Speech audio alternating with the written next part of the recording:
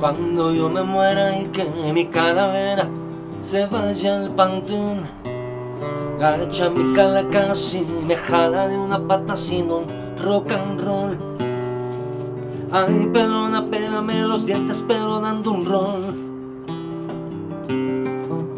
Ay, huesuda testaruda que me duras en el vacilón, en una cantina, en cualquier esquina, contigo en el colchón, en una pañón, preso en la prisión. Cuando yo me muera y que mi calavera se vaya al panteón. Para mí la Catrina representa el que todos somos iguales por dentro. Todos somos un esqueleto con algo puesto para que nos cubra ese cuerpo por fuera.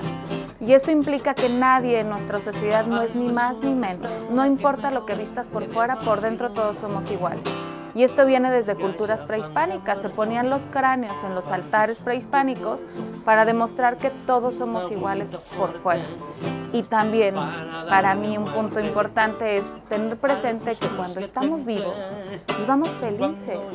Dejémonos de tantas cosas que nos complican la existencia y busquemos la felicidad para trascender en la conciencia. de rock and roll, un rock and roll, sin un rock and roll. Adiós, adiós, lucero de mis noches, dijo un soldado al pie de una ventana. Me voy, me voy, pero no llores, ángel mío, que volveré mañana.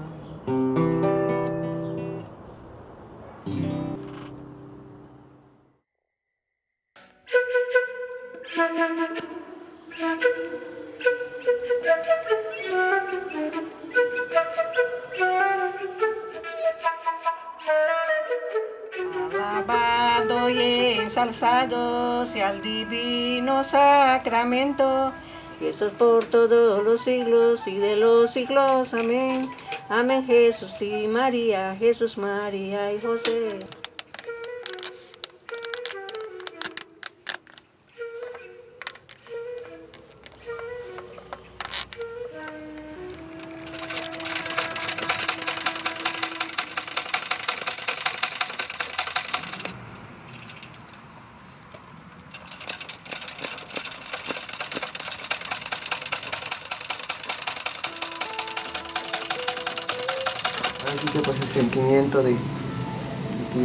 Acá, de que pues él estuvo conmigo mucho tiempo, él era el que siempre estaba junto a mí y que ahora pues solamente quedan recuerdos.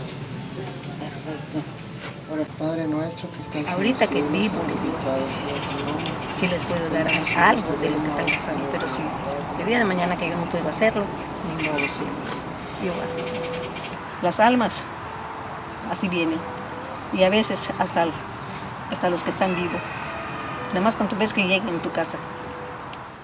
La limpia de huesos en Bomuch es trascendente de nuestra generación, de nuestros abuelos, de nuestros, de, nuestros, de nuestros padres, pero sobre todo de nuestros abuelos y quienes les enseñaron de venir a, a visitar a los difuntos, a los restos, a los huesos, eh, que lo único que quedan de ellos después de haber muertos. Venir y, y, este, saludarlos, platicar con ellos, convivir en un momento de integridad entre vivos y muertos, una convivencia de amor, que es un acto de amor que hacemos con nuestros difuntos. Perdono, Dios mío, perdona indulgencia, perdona inclemencia, perdona impiedad. Para poder tener perfectas ánimas de caridad, qué terribles son tus penas, qué tormento pasará. Piadosísimo Jesús mío, mirar por benignos ojos en el alma de Luis Alberto Poliá. se lleva a cabo de- hace más de 100 años. Entonces, pues ya es una costumbre que tienen aquí los habitantes de Pomuch, que más que nada es un acto de amor para, para convivir con los familiares que ya no están en, en este mundo. Padre nuestro que estás en los cielos, santificado sea tu nombre. Venga a nosotros tu reino, hágase Señor tu voluntad en la tierra como en el cielo. la gente, las es para que, para que se le cambie el mantel, para que, para que tenga un vestido nuevo, este, aquel difunto. Porque pues ya ve que para, para tu día de santo que vive uno, pues se cambia, se, se arregla y todo. Y para ellos también es una forma de, de vestirse con ese, con ese mantel nuevo. Sentir que, que le dio veía nutalo, que estomat iliko, pero cutalo. Le vedi que todo le ve, cada año, ve que balo, ve que yuchla.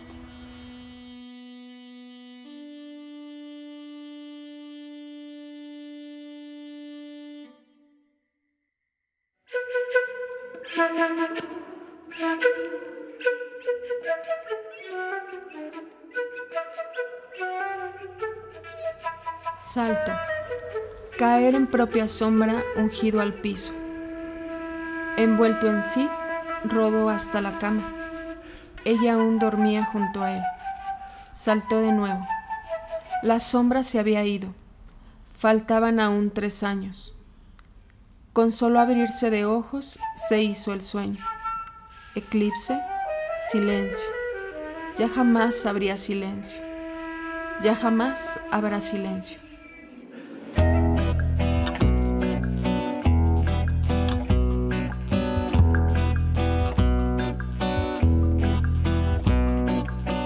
Yo perdí todo en uno. Mi mejor amigo, mi compañero de viaje, mi esposo.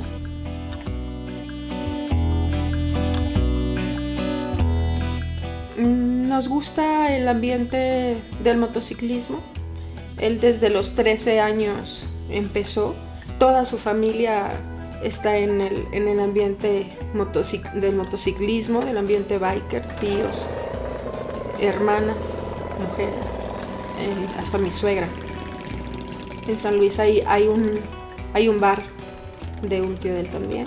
Entonces toda la familia, mi abuelo fue motociclista, pero fue tránsito, él manejaba sin una pierna. Mi papá es motociclista.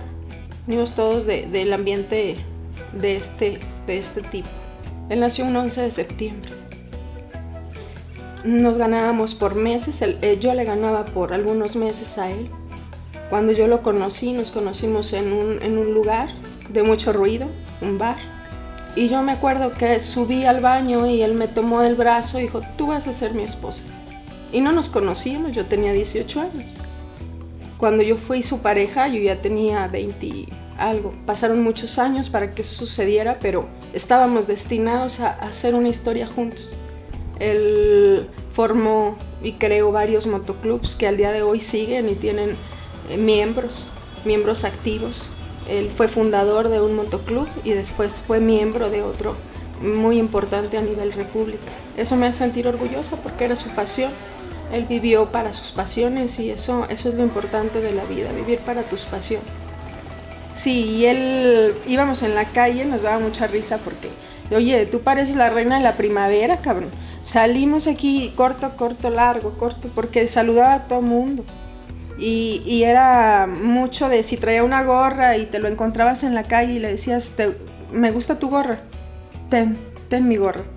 Entonces encuentro amigos de él y me dicen, oye, fíjate que esto era de él. Él se desprendía de lo material con, con una facilidad increíble porque era tan natural, era un hombre natural.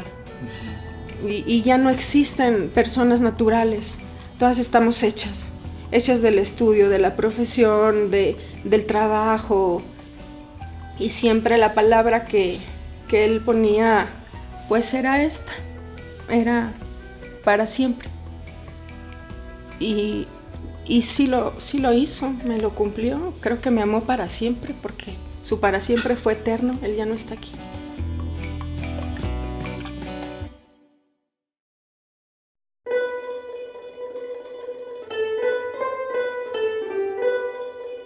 Para nosotros los mexicanos eso tiene de importancia.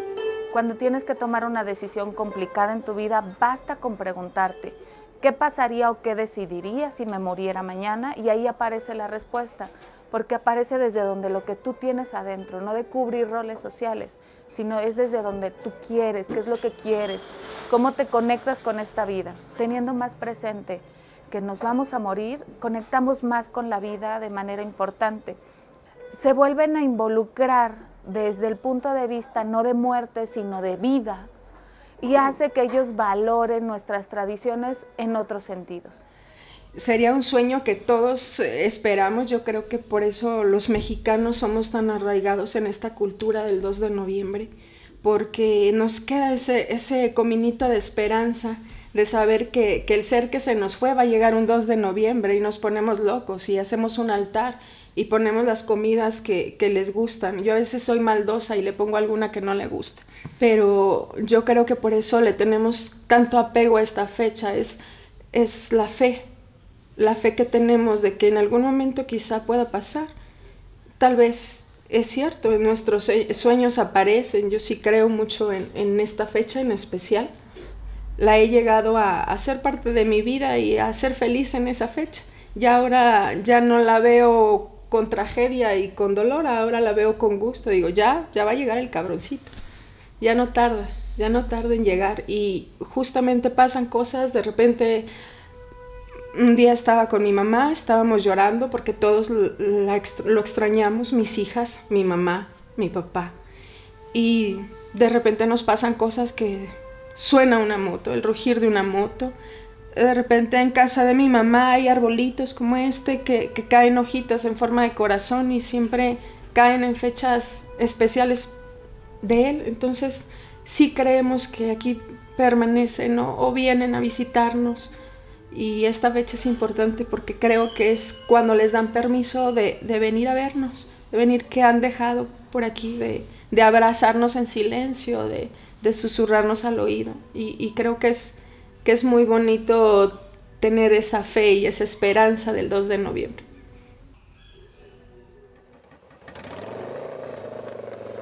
creo que es bonito.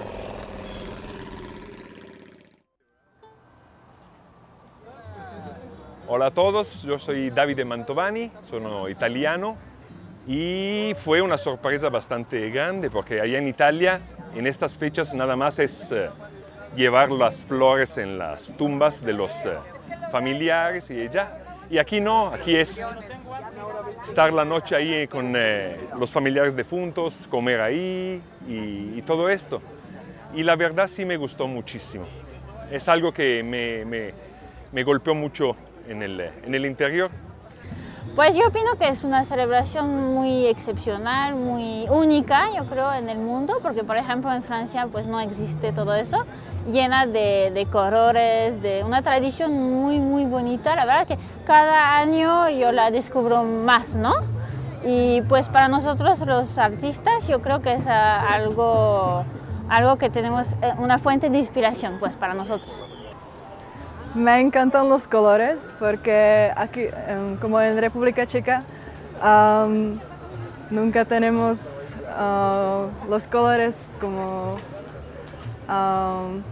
juntos con, con, la muerte o el cementerio.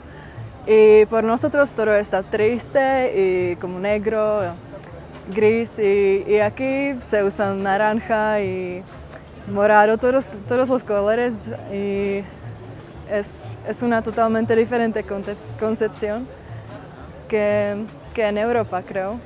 Y ya, ya me quedé muy sorprendida con, con los altares, la alegría que está alrededor de, esa tradición y más que todo yo creo la, la cercanía con los, los, difuntos, los seres queridos, hablarles, llevarles de comer. No sé, para, para un europeo eso es muy extraño al principio y al final este, como es algo muy, muy fuerte, muy conmovedor todo lo que se ve aquí, los colores, eh, la comida y todo esto, y, cómo viven estas fechas los vivos con los muertos. Sí. Que a veces la gente um, está toda la noche en el cementerio con los muertos y um, para nosotros es algo como, ah, wow, no, no tienen miedo estar con, con ellos como, y a veces um, también que limpian los huesos y ese es como algo como, no, no manches, que, que lo como levantan. Um, I think it's very different compared to Chinese tradition because we are usually afraid of the ancestors. We think they have the power, kind of. And uh, but at here, I think people are more enjoying the time they can spend with the past people. But at the same time, it's kind of similar because we have a tomb sweeping day every year, and then we go sweep our tombs as well. But we were just discussed at here that you feel you're more at home and you feel like uh, the dead the souls are really welcomed by the families. La manera en como el extranjero percibe la época de muertos es completamente extraño para ellos, porque tarde o temprano están hablando de muerte, están hablando de cráneos o seres místicos en muchos sentidos. Ah, sí, mi mamá me dijo, que, oh, wow, la muerte, que por ellos está un poco raro, pero ya me acostumbré a ver las Catrinas en todos lados y um, me gusta mucho. Y esto pues es una interpretación, ya se reconoce aquí la guitarra, el niño y la abuela. No ve que la canción que tienen, qué lindo es Michoacán. Tú sí tienes de qué presumir. No, pues es bien bonito aquí. Más que ya, que ya no los tengo.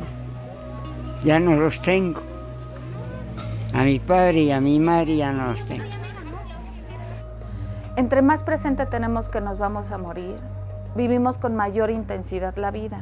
Y si esa parte de tener presente cómo vivimos de manera alegre la complementamos, hace que se experiencie la muerte de otro plano, desde otro plano. Se experiencia como, como recordar que todos nos tenemos que morir en algún punto dado, pero existe también un choque de conciencia, de límite de conciencia. Hemos escuchado muchas veces que la gente cuando tiene una experiencia cercana a la muerte, regresa con otra manera de pensar, con otra manera de vivir. Hola viajero y bienvenido a los códices de Tenochtitlan. Pon atención si quieres saber más sobre la vida después de la vida de los aztecas, pero sé cauteloso, porque la vieja Tenochtitlan, cuando alguien sufría una muerte natural, debía embarcarse en un viaje al mundo de cabeza dentro de nuestro mundo llamado Mictlán. Nuestra primer parada es el río Panahuacaluya, en el Iscuintlán, hogar del poderoso dios Xolotl. Frente a él serías juzgado por tus acciones pasadas. Y de haber sido bueno con los animales, serías merecedora algo de ayuda. Y no cualquier ayuda, pues tu propio perro brincaría directamente al agua y al tocar el río adquiriría todos los poderes necesarios para ayudarte a cruzar esta, la primera parte de tu viaje y atravesar el río en su espalda como si se tratara de un caballo. Pero de haber sido malo con los animales, te quedarías atrapado por siempre. Y una vez del otro lado del río, casi podrías saborear la victoria mientras corres rápidamente hacia la cima y el final de esta carrera. Pero aún no es tiempo de celebrar, pues esta solo es una de las nueve pruebas del Mictlán. Buena suerte, viajero, y que los dioses te favorezcan. Antiguamente en culturas prehispánicas se creía que el perro Xoloscuincle te ayudaba a cruzar al Mictlán. Una vez que la persona fallecía, este, se enterraban junto con el, con el perro Xoloscuincle cría y los ayudaba ahí a cruzar. Son muy cariñosos, muy conectados con, con la persona, sus dueños y tienen otro temperamento que no había, no había visto en, en perros, o sea, es más tienen un carácter como todavía más, como si la pensaran más que los perros normales.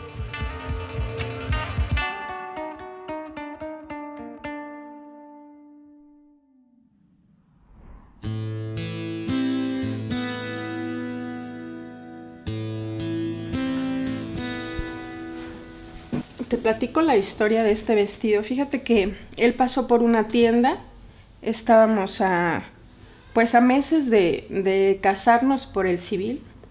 Pasó por una tienda y me habló y me dijo, amor, encontré el vestido perfecto. El vestido perfecto porque es blanco y porque tiene piel de motociclista. Entonces nosotros queríamos hacer una boda muy al estilo motociclista, con sus amigos, con sus hermanos, porque hasta el día de hoy yo lo entiendo, que es una hermandad. Y, lo vio el vestido y me habló y, lo compró. Era el vestido que me iba a poner. Él fallece el 14 de marzo del 2015. Nosotros nos, nos casábamos en abril de ese, de ese mismo año. Entonces para mí tiene mucho valor y, lo, he estado, lo he estado guardando. Tiene todavía la etiqueta y, pues por algo las cosas suceden o no suceden. Él viajó hacia Cancún a un evento, un evento biker y saliendo de, un lugar tuvo un incidente contra un, un muro y falleció en la, en la ciudad de Cancún.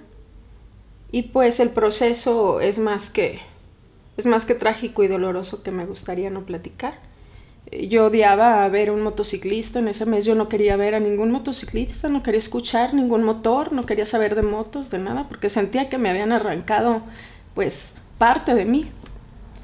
Pero es, es importante decirles que, que los seres que queremos y que se van, trascienden en nosotros, se quedan con nosotros. Únicamente el cuerpo no lo tengo aquí conmigo, pero me dejó enseñanza, aprendizaje, amor pues esta es nuestra tradición de este Día de los Santos, pues esperar a nuestros difuntos que sí hayan fallecido.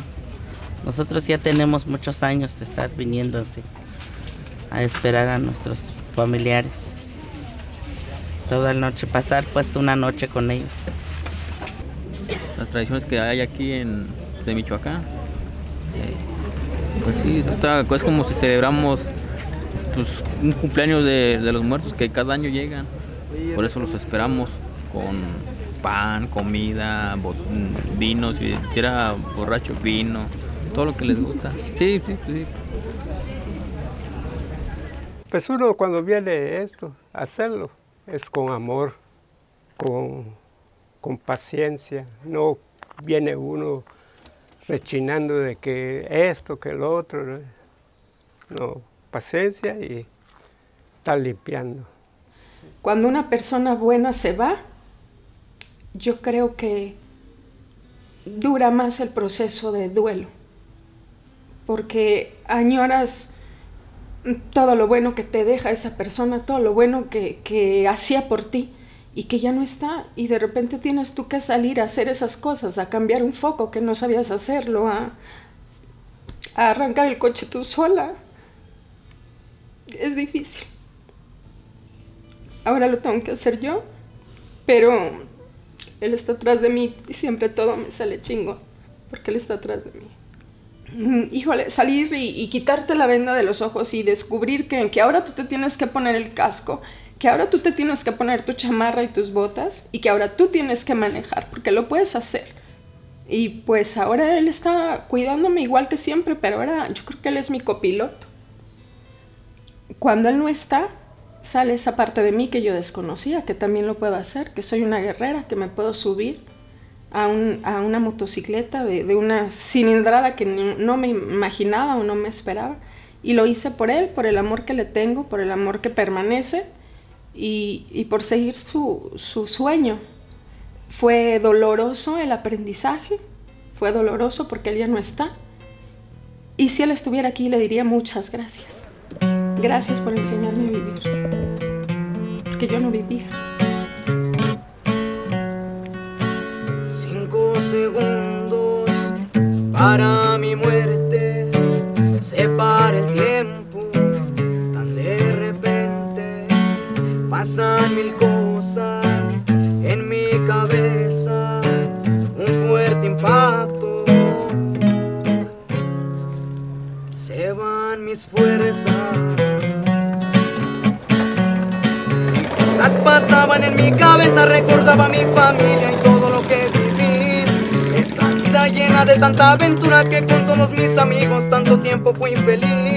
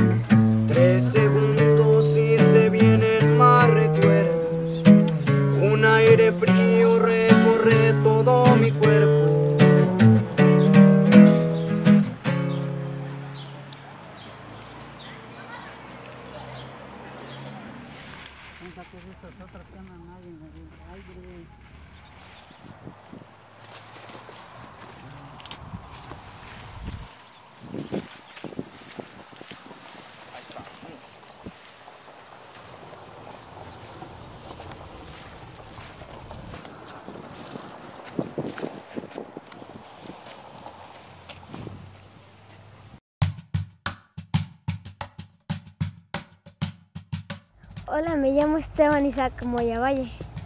Hoy vengo a platicarles sobre la flor de cempasúchil o flor de muerto. Este huerto es de don Genaro, que descansa en paz. A él le alegraría ver sus bellos jardines de flores. Me gusta la flor de cempasúchil por su olor, consistencia y perfección. Este es el cempasúchil, es la flor más común que llevan a los panteones, a nuestros fieles difuntos. Desde muy niños comenzamos a ver a nuestros abuelos cómo empezaron a trabajar la tierra, cómo la hacían para cosecharla, para producirla. Este, pues poco a poco de ver cómo se iba haciendo todo, pues creo que fuimos aprendiendo y pues de los consejos y lo que nos decían nuestros, nuestros abuelos. Lamentablemente fallecieron hace poco. Existe lo que es el quelite o llamado manita de león o terciopelo. Ese lleva alrededor de cuatro meses, se siembra a finales del mes de julio. Es la segunda flor que también se cultiva para los fieles difuntos. También existe lo que es la nube. Son las flores más comunes que existen para esta temporada, estas fechas tan especiales que son para nosotros. La flor de cempasúchil fue regalada por el dios Huitzilopochtli a la tribu de Aztlán desde las tierras del norte para llegar a la tierra prometida. Ellos le piden una manera de recordar a sus muertos y aparecen los campos floreados de color oro. Cuando se unifican en la época de la colonia y se, y se evangelizan a los indígenas, se adopta la cruz. Por eso la iglesia, una costumbre pagana, la vuelve católica y la iglesia dice que se pone una cruz como simbolismo de Jesucristo y se ponen siete niveles de ofrenda. ¿Cuáles son los siete niveles? Los siete pecados capitales. Pero dentro de la costumbre normal es una mesa que se está dando en un banquete. No necesita llevar siete niveles. Y entonces si les está ofreciendo un banquete de comida, se ofrecía en un plato de barro. Se dice que en la ofrenda todo debe ser nuevo, porque ellos vienen y se llevan las esencias y los sabores de todo lo que da. Comida real, fresca del día. Y se pone en diferentes etapas. Una ofrenda se pone el día 28 para los que fallecen en desgracia, el día 30 para los que mueren antes de nacer, el día 31 para los infantes y el día 2 para los adultos. Y se supone que antes de las 12 llegan a los hogares para disfrutar su banquete. Parte de la ofrenda también debe llevar una yate o una canasta, porque en ella se van a llevar todo lo que ustedes le están ofreciendo al, al difunto.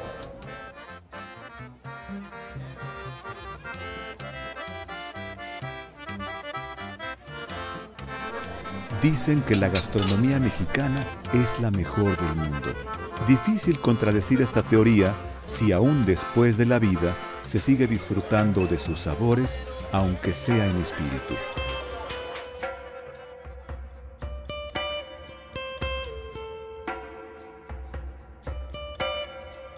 El Día de Muertos va más allá de religiones y creencias. Es una tradición que ha traspasado generaciones. Cada año, la Noche de Muertos se pinta de colores y de luz. Los mexicanos le damos vida a la muerte.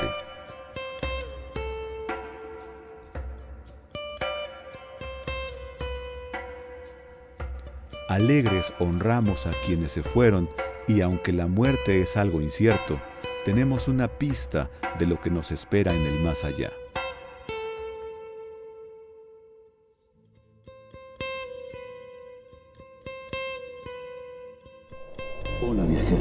Bienvenido de vuelta a los códices de Tenochtitlán. Si te pareció difícil cruzar el río Apanahuacaluya, lamento decirte que aún no has visto nada. Como tu segunda prueba, tendrás que enfrentarte al lugar en que se juntan las montañas. Aquí serás juzgado por tu velocidad y agilidad, así que respira hondo y encuentra el momento exacto para cruzar justo después de que las montañas choquen entre ellas. Tu sincronización tendrá que ser impecable para no terminar hecho polvo. Y mucho cuidado, porque en el camino del Mictlán siempre hay sombras observando.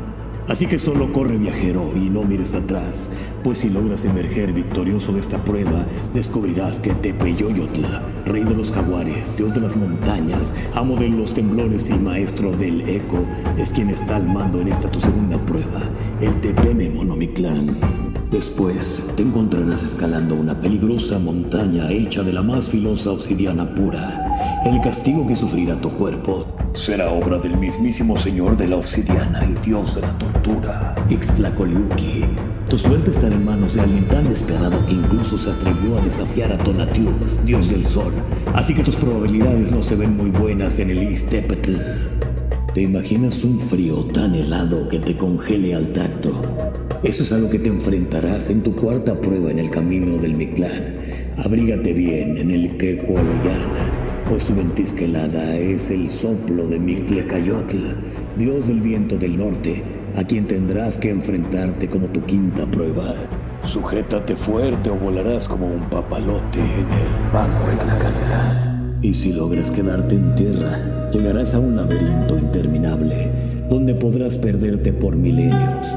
Pero en el camino al Mictlán las cosas siempre son más difíciles de lo que parecen, y esta no es la excepción. Por si fuera poco, miles de arqueros invisibles te dispararán todas las flechas perdidas en batalla mientras tratas de cruzar este laberinto conocido como el Teme.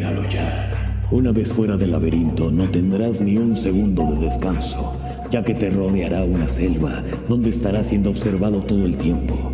Espero puedas poner atención a todos los presagios a tiempo, ya que en esta, la séptima prueba, te enfrentarás a cientos de jaguares que te perseguirán a toda costa. Y no importa cuánto corras, no habrá escapatoria. Los jaguares te acecharán en cada rincón de Teyoyocualoyan.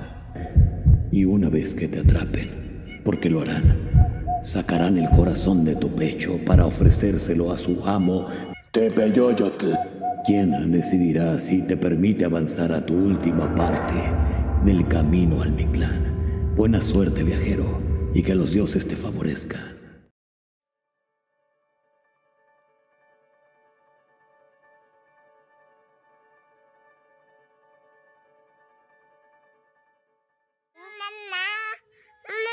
Convivió conmigo nueve meses en mi vientre, lo oía latir su corazón, veía sus ecografías, todo estaba normal. Era un bebé que tenía una mirada que te, te enamorabas cuando lo veías. Este niño era una cosa increíble, no, no, no te puedo yo explicar cómo era, pero era magia pura. Y nunca se enfermó, nunca tuvo una gripita, nunca tuvo nada. Y así como un día Saúl nació y lo tuve en mis brazos, un día todo cambió. Tenía ya meses presentando cuadros de fiebre. El primero lo tuvo en julio del 2015 y estaba preparando la bañera cuando escucho que algo se cae en el cuarto, como si un estruendo, y voy corriendo y lo encuentro convulsionando en el suelo.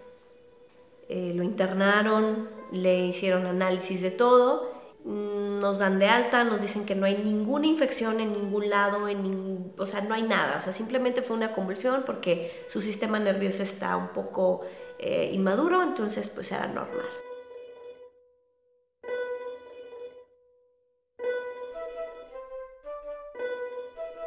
La muerte de un ser querido inevitablemente es una dolorosa despedida. Sin embargo, el Día de Muertos nos da la oportunidad de recordarlos con una sonrisa.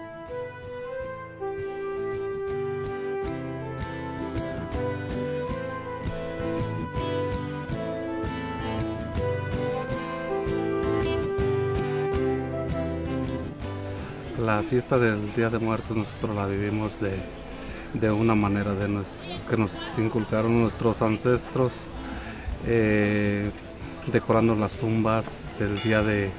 Empezamos el día 31 con la venida de los, de los niños, o sea, de los que, que murieron cuando eran niños. Y culminamos hasta el día 2, cuando es la venida de los, de los fieles difuntos. Eh, por eso es que nosotros acudimos aquí a los panteones y en las tumbas de nuestros seres queridos. Todo, todo, viven conmigo. Eh, yo a todos los niños los quiero mucho, no puedo dejar de ver a un niño sin que pase aquí por una mandarina, un pan, lo que sea, aunque no sea día de la calavera. A todo el que te visita en tu casa, le das un platito con una fruta, con un pan, con una calavera y un jarrito de agua o de pulque, lo que ponías, o un taco de lo que tenía tu mesa. Ver sus fotografías, elegir su comida favorita y alistarnos para su regreso nos permite sentirnos nuevamente cerca. Nunca muere quien no es olvidado.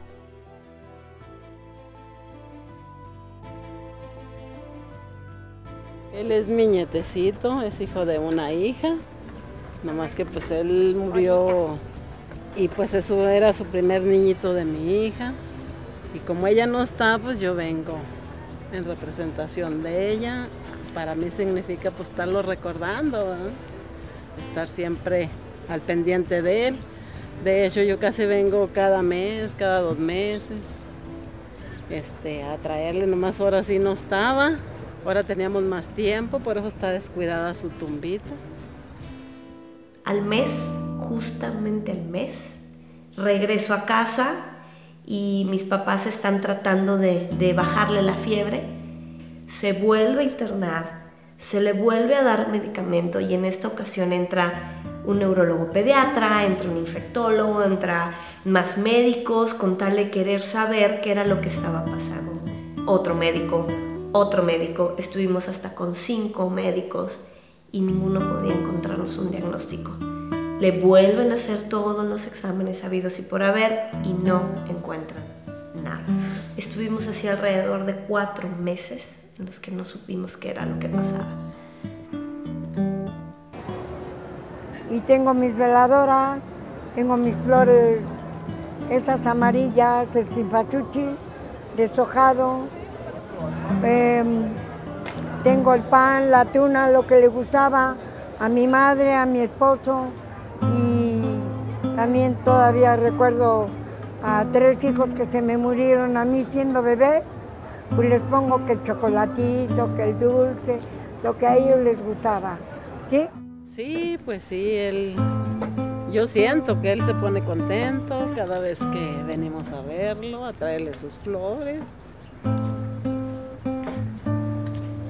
¿Usted lo quería mucho, señora? Sí, yo sí deseaba que hubiera estado bien. En la casa siempre lo sentimos que anda ahí. A veces los niños platican, dice que platican con su hermanito, quién sabe si hasta lo verán, pero él siempre está con nosotros. Llegamos con otro médico y nos dice, ¿sabes qué? es una bronquiolitis. Cálmense y, y en dos días el niño ya va a estar corriendo, cálmense, o sea, no pasa nada. Como a las 5 de la mañana empezó a quejarse. Le hacía en su pechito un pillido y él se quejaba. Llegamos a un hospital, nos recibe una infectóloga pediatra y me dice, hay que internarlo de urgencia. Trae colapsado un pulmón. Tiene una neumonía grave. Y yo me quedo, a ver, no. O sea, antier era una bronquiolitis, hoy es una neumonía y tiene un pulmón colapsado. O sea, alguien que me explique qué pasó. Ah, éramos muy pobres. Les dio el sarampión. Les dio el sarampión a una de un año y medio y se fue. Y a la otra me la llevé al pueblo de mi esposo, aquí a Santiago Tianquistenco, a un velorio. Acababa de nacer y aquí se quedó muerto.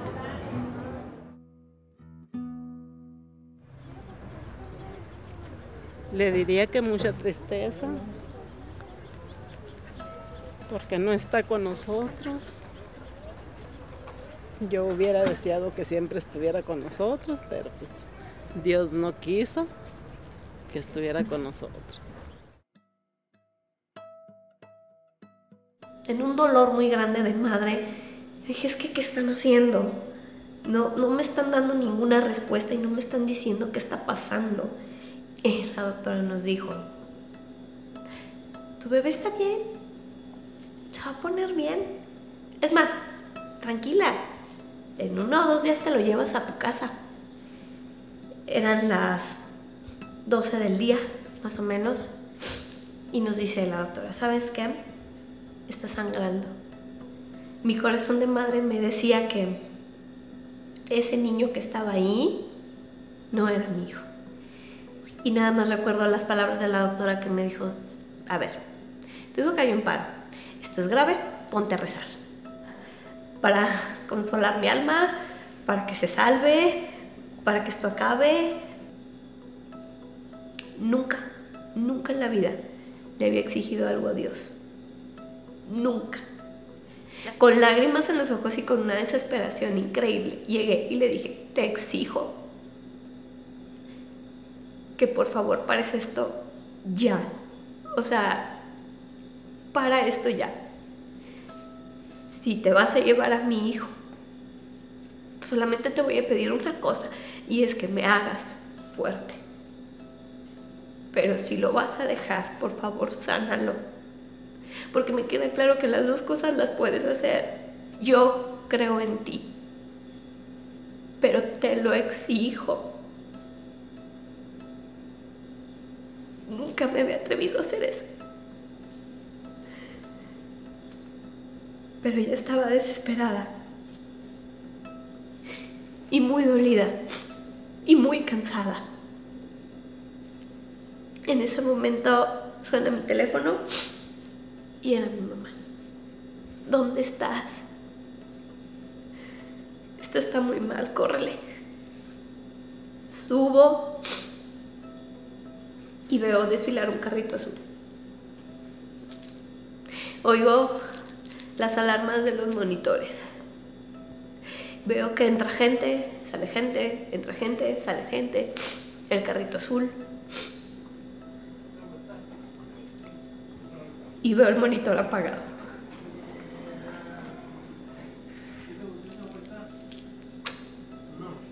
Entonces dentro de mí había algo que me decía, tranquila, a lo mejor no pagaron porque ya está respirando solo, ¿no? Y la doctora me dice, Saúl cayó en paro durante 15 minutos, hicimos todo lo que pudimos, de verdad lo hicimos todo. Lo siento mucho, su hijo falleció. Cuando estaba despidiéndome de mi hijo, lo tomé en mis brazos y aún estaba calientito. Y lo único que le pude decir, con el llanto, las lágrimas en los ojos, el ahogo aquí, aquí, Solo le pude decir, hijo, gracias. Gracias por haberme escogido como tu mamá. Y perdóname por no haberte podido salvar. Diles amigos, ya camino. Es muy padre, ya me voy. Adiós amigos.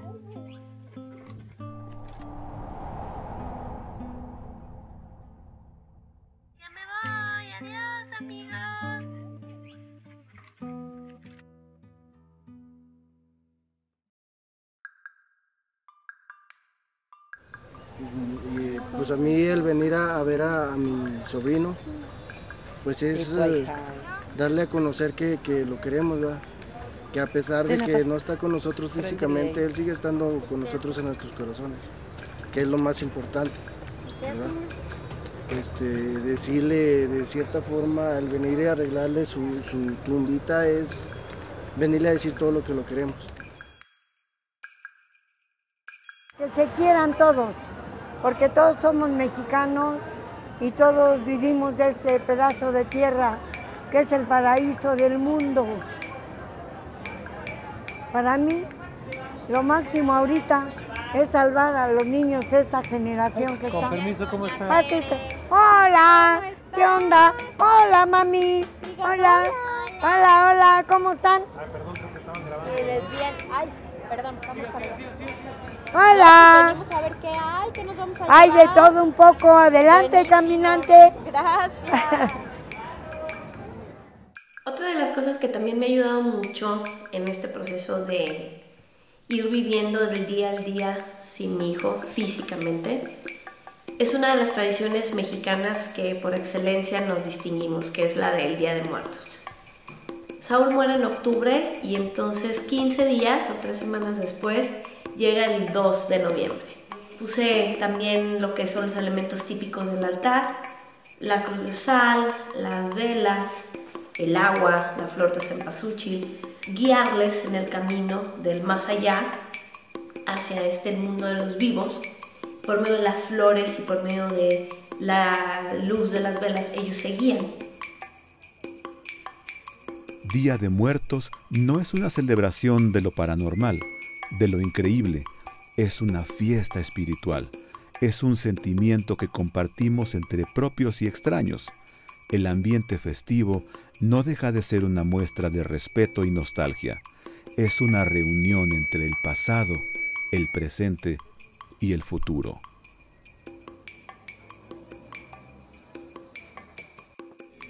Los que siembran entre gritos de dolor cosechan entre sonrisas y júbilo. Yo decía, Dios tiene promesas, Dios hace promesas, que es que quienes lloran en algún momento serán consolados.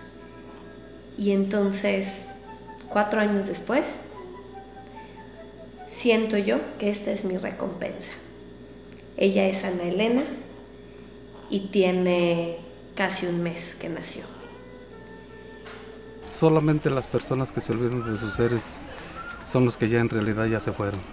Pero pues yo aquí tengo a, a mi hijo, a mis papás.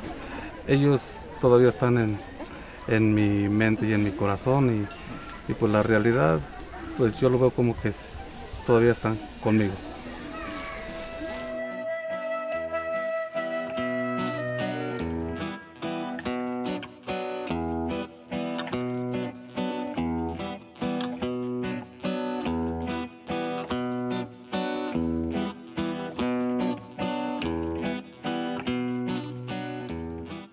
Conviví con ellos aquí y creo que pues, se siente la presencia de ellos aquí. Prácticamente lo que él nos decía es que hay que tratar con cariño todo lo que vamos a cultivar para dar una, una bonita referencia de todo lo que estamos vendiendo, que se vea bonito y tratar bien a los clientes. Se siente, ¿por qué? Porque uno dice, ando aquí tal vez en la mente escucha uno, escucho la voz de mi abuelo así. Recuerdos me llegan a la mente de que ando aquí, anduve aquí con ellos trabajando.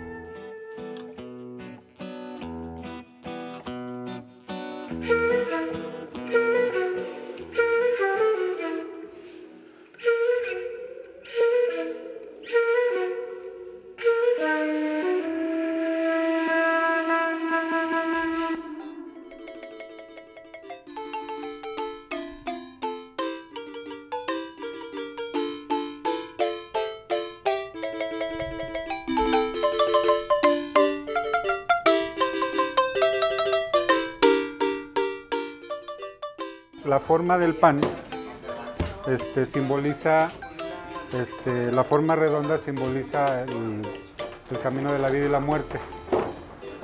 Las canillas simbolizan el- las lágrimas de los, de los- ya fallecidos.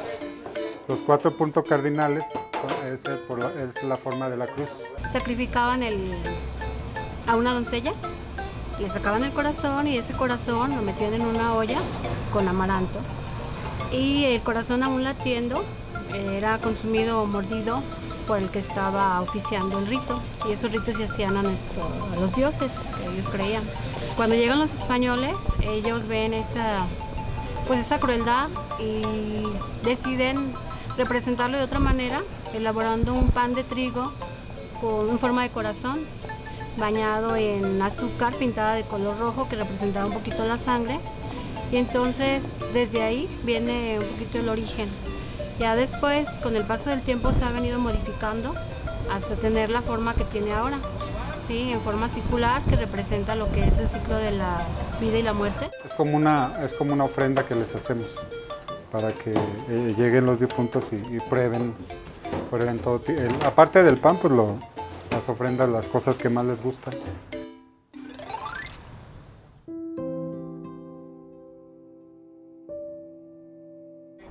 Primera vez que él escuchó a Armando, escuchó esta canción. ¿Cómo fue? ¿Y cuál fue su reacción? Este, no me acuerdo. ¿Qué piensas que sintió él cuando No, yo creo que le gustó, tan le gustó que, que todo fluyó. Yo creo que, bueno, con Botellita de Jerez siempre fue eso, ¿no? El- una especie de consenso universal, este, total. Y si no había ese consenso, pues no. Eh, y a propósito de ese consenso, yo creo que Armando me hubiera dicho, no, no, no es por ahí. No, yo creo que le gustó mucho.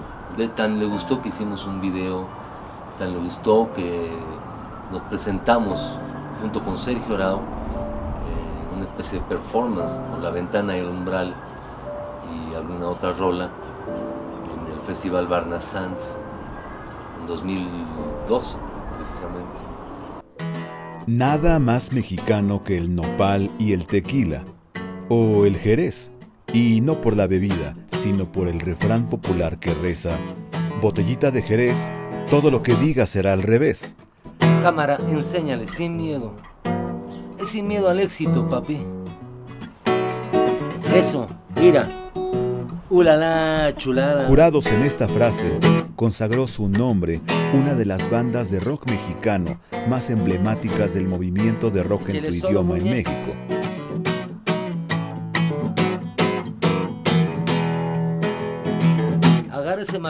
El grupo vio la luz y probó las mieles del éxito ochentero cuando lanzaron su primer disco en vinil a mediados de 1984, integrando elementos de la cultura popular, una buena dosis de albures y sátira en sus letras. Sin miedo al éxito, papi. Eso, mira, otra vez para arriba. Ulala, chulada. Piensa en tu nena. Piensa en tu ex. Piensa en tu nena. Piensa en tu ex. Es sin miedo al éxito, papi. Dios no existe, pero como estorba, carnales. Carnales. Eh, la muerte es. Es el top, carnalitos, carnalitas. Y ahí hay que llegar chingón.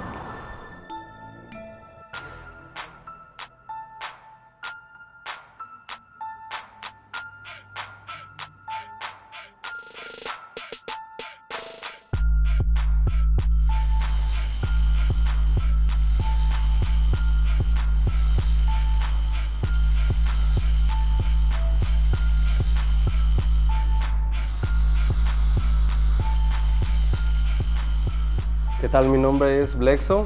Bueno, me llamo Martín Leonardo. eh, me apodan Blexo.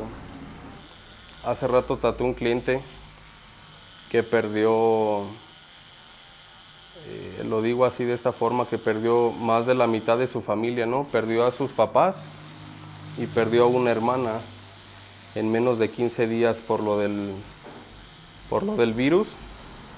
Cuando ya se trata de alguien que perdimos o cosas así, creo que es un poquito más de responsabilidad para mí y es algo muchísimo más, más cabrono porque siempre he dicho que el tatuaje es mágico, entonces en este caso es llevar recuerdos todavía con más, este, con más valor, ¿no? Para mí. Eh, hace cuatro años falleció una de mis mejores amigas y como que desde ahí me entró esa espinita de necesito un tatuaje en honor a mi amiga, ¿no? Y así empezaron a fallecer conocidos, familiares, mi abuelo. Y traía como la idea de decir, quiero un tatuaje en honor a las personas que se han ido, pero pues no quiero su nombre, no quiero su cara, no quiero la fecha en la que se fueron, quiero algo como más, más significativo, más padre, ¿no? Yo creo que la gente me pregunta, ¿por qué un altar de muertos, no? Y yo, ¿cómo los mexicanos recordamos a nuestros muertos? Pues con un altar. O sea, para nosotros qué es importante ese día recordarlos y desde el día que se fueron, saber o nos queda esa esperanza de que algún día los vamos a volver a ver. Y qué padre que un día podamos preparar algo para ellos, como una fiesta, la comida que les gustaba, las bebidas, los cigarros, sus juguetes, sus juegos de, de en vida, que digan, voy a regresar a donde me amaron, ¿no? no es tanto como traerlos de vuelta, pero más bien es una forma de dejarlos ahí, que no se vayan, de hacer un homenaje. En este caso así me ha tocado. Y de hecho tengo, tengo un nombre aquí de, uno de dos bebés que perdí. Eh, la forma por, por lo que me lo puse ahí fue porque exactamente para no olvidarme de él, ¿no? De, este bebé que perdí, hasta igual el día que, que nos toque a uno, ¿no?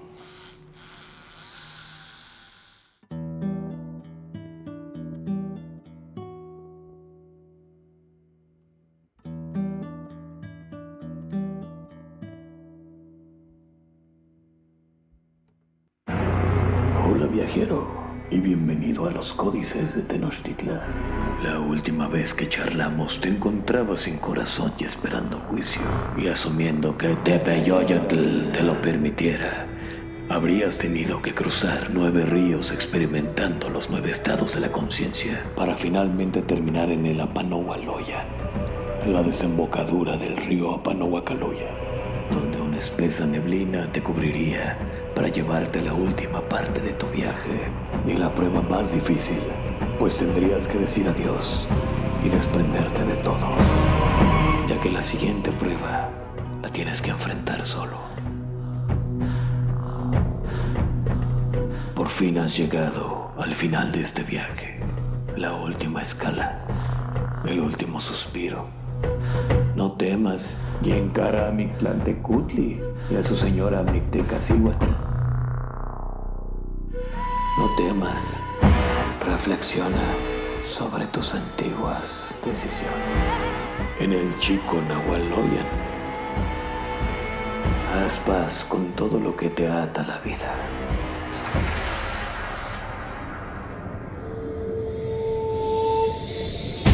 Y conviértete en uno con todo, pues han terminado tus días de viaje en el Mictlán. Sé libre. Contempla lo que quedó atrás. Sé uno con la tierra. Sé uno con las gotas de Tlaloc. Sé uno con los rayos de Tonatiuh. Sé uno con Quetzalcoatl. Buena suerte, viajero. Y que los dioses te favorezcan. Te esperamos.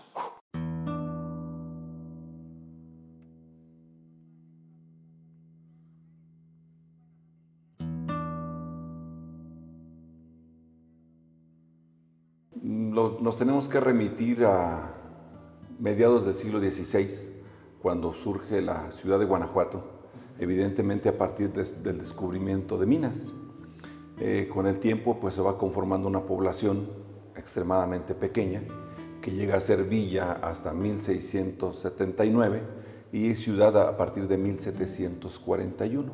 Este, la población va creciendo hasta llegar a un punto en el cual es necesario crear o construir un panteón municipal, que es el panteón municipal que está a un lado del Museo Internacional de las Momias de Guanajuato.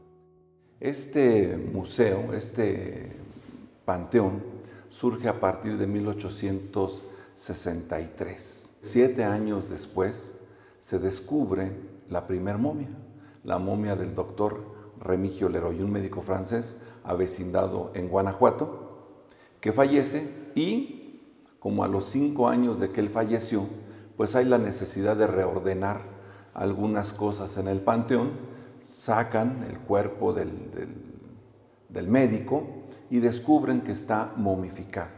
La leyenda es que el velador del panteón es quien le empieza a decir a la gente que hay un cuerpo momificado y que para dejar este, que la gente lo viera, pues lógicamente le tenían que dar a él una compensación, una ayuda, etcétera. Y entonces, pues en realidad la leyenda es que este velador fue el creador verdadero del Museo de las Momias. La momificación consiste en que el cuerpo se deshidrate por completo. Una cosa externa, tejido o epidermis, piel. Lo que desaparece es el 75% del ser humano que contiene agua. El 2% de la gente que muere aquí en Guanajuato está propenso a conservarse. El 98% de la gente que sea sepultada aquí en Guanajuato va a quedar en restos o lo que mejor conoce la gente como huesos.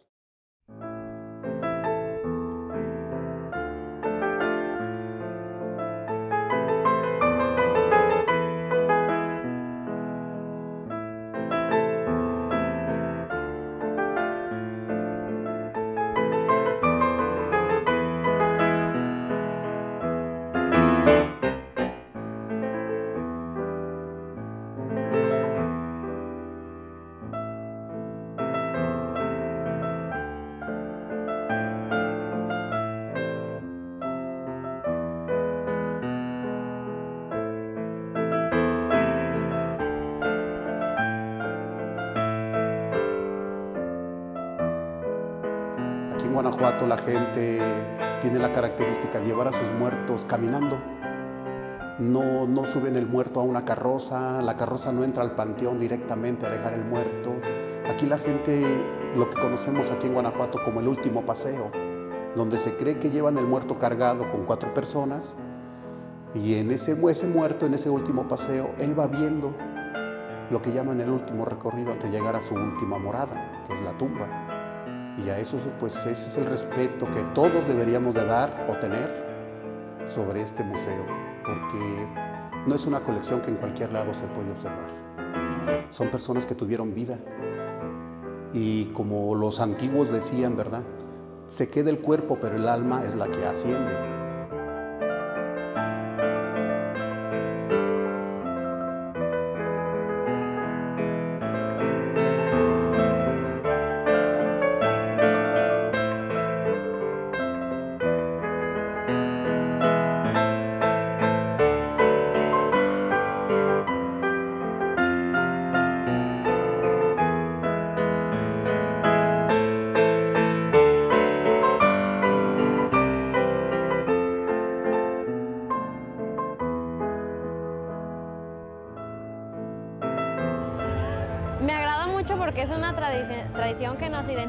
Los mexicanos y pues como es el primer parque que tiene esta temática se me hace muy original.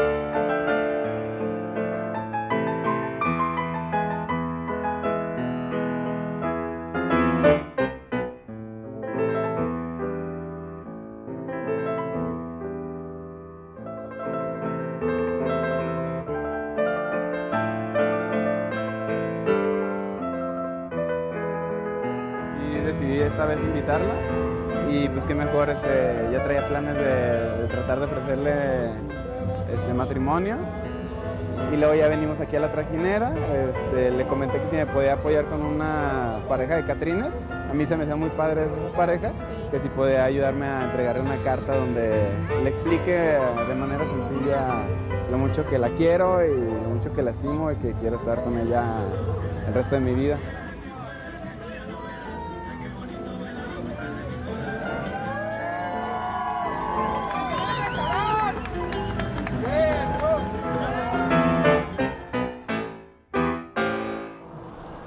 Esas voces que, sigo escuchando cuando quiero, cuando deseo, es Armando Vega Gil,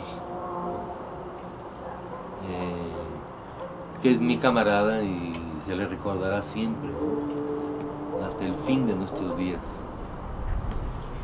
Un desafortunado hecho que acabó con su vida y con la historia musical de Botellita de Jerez. Decidió terminar con su vida colgado de un árbol en las inmediaciones de su casa. Y entre muchas andanzas y recuerdos, locuras y luchas, el Mastuerzo destaca La ventana y el umbral, una canción que le compuso a su amigo, a su brother del grupo, Armando Vega Gil. Descanse en paz Armando Vega Gil, pero que viva por siempre la botellita de Jerez.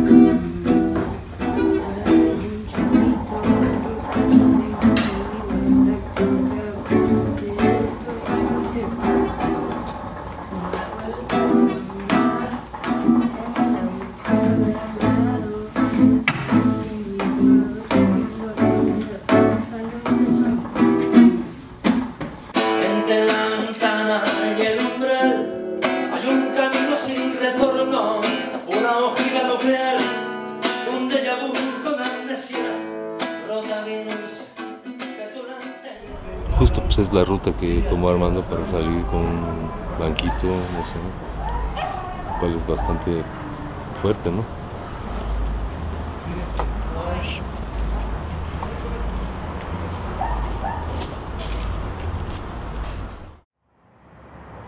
Estamos aquí en la casa de Armando Vega Gil. Bueno, para mí será siempre su casa. Durante muchos años él vivió aquí, palenque número 12. En esa ventana era la estancia, la sala. En esa otra era su estudio. Su estudio. Y bueno, yo no había, había tenido la oportunidad de venir, quizá por una especie de, no sé, una especie de también de luto dentro de mí mismo. de- de- Exactamente, ya. así como el... el- no querer ver dónde, cómo, etc. y pues esto, justo ahora pensando en esa ruta en que Armando toma su decisión, bueno, vamos hacia donde el carnalito pues se quitó la vida.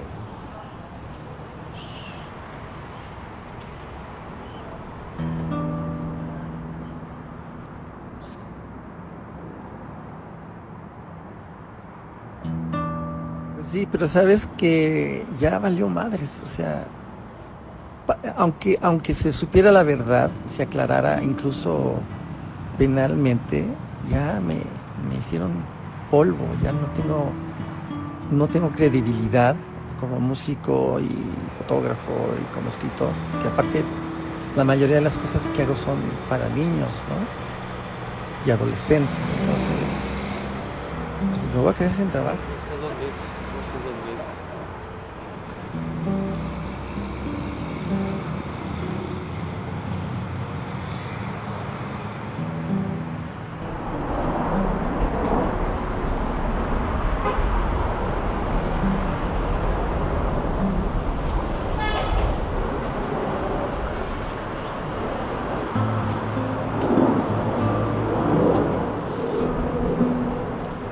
que estuvimos colgados de las barbas de Yo con la pasión, él con las tormentas. Así decía, hazme una canción que diga que estuvimos colgados de las barbas de Dios. Tú con la pasión, yo con las tormentas. pues descanse en paz. O que no descanse en paz, allá en la nube. Ahí está en la nube también, en sus libros.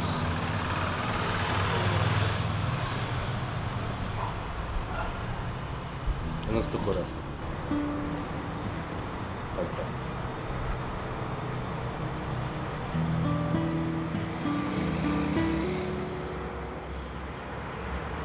Descanse en paz, Armando Vega Gil, pero viva por siempre la botellita de Jerez. Todo lo demás ya lo tienes. Qué maravilla que tú ya, Carlos. ¿Cuántos años tienes? 11. Mira, wow, me traían la vena. Hermoso. Pues vamos a- al panteón, mi carnal. Vamos a hacerle una visita a mi carnalito Armando Vega Gil Rueda. Eh, como se dice popularmente, en paz descanse. Eh, hace pues ya más de un año que ahora sí que lo enterramos eh, y lo extrañamos, por supuesto. Lo recordamos todo el tiempo, sus enseñanzas, etc. Como un buen hermano, ¿no? como, un, como un maestro también.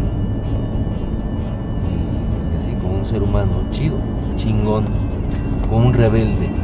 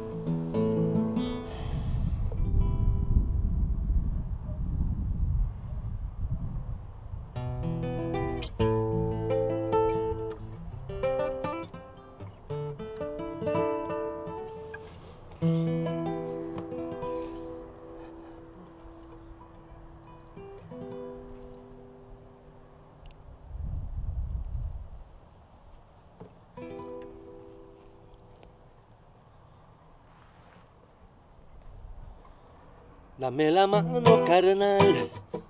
Hay un chorrito de luz aquí. Ven conmigo a darte un trago.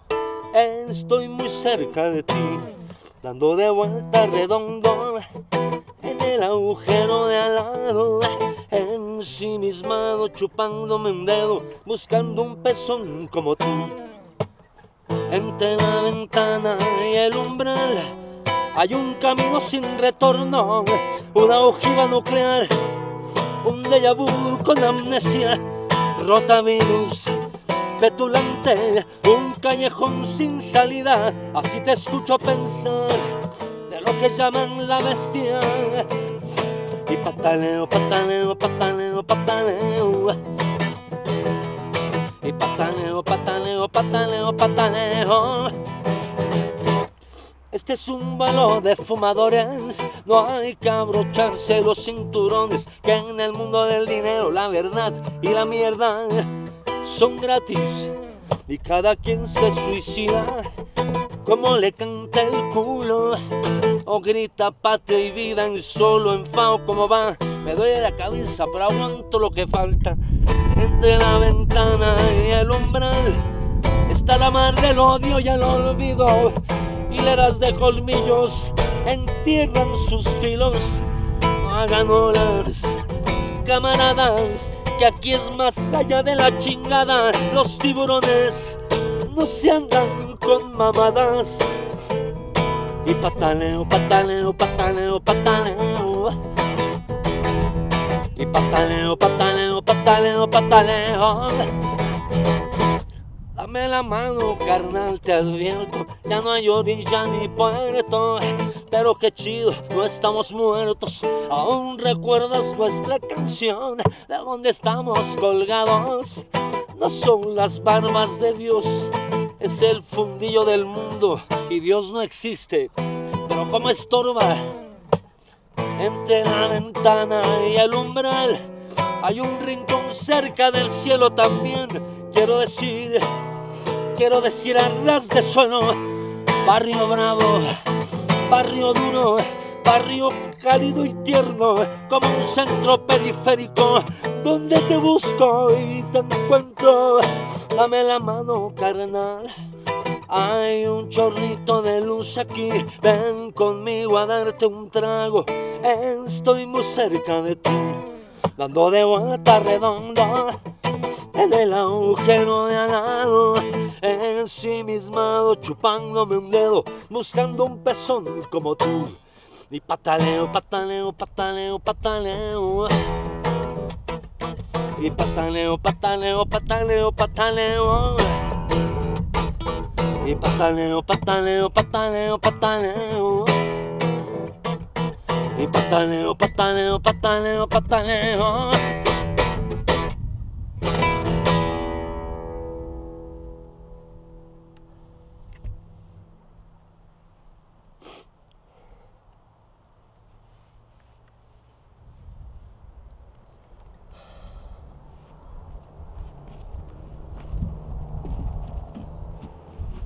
Año y cacho de tu muerte, carnal.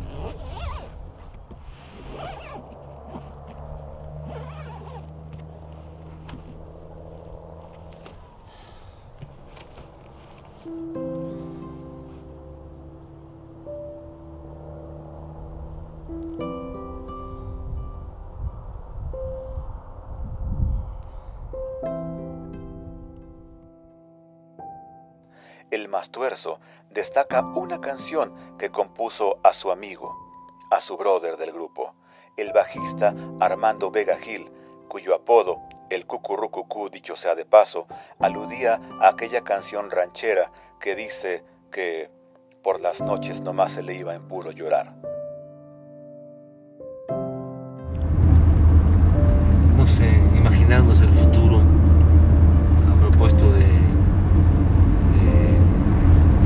Platicando con los muertos.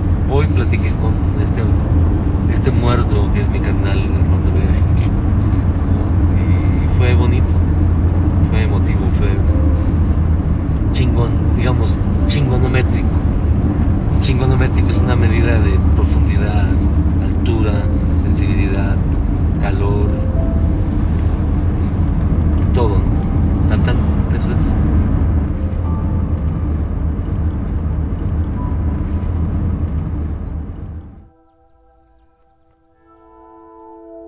Sombra se había ido. Faltaban aún tres años. Con solo abrirse de ojos se hizo el sueño. Eclipse, silencio.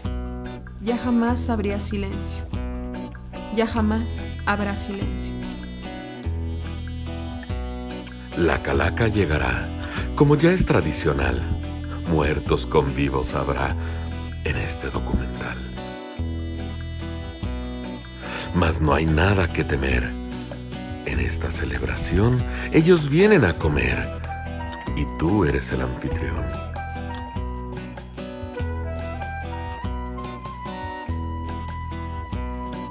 Queremos que el mundo sepa que la muerte es divertida, que es parte de nuestra vida, que de eso ni duda quepa. Ellos siempre vivirán en corazones y agendas, y esta noche volverán con su foto en las ofrendas.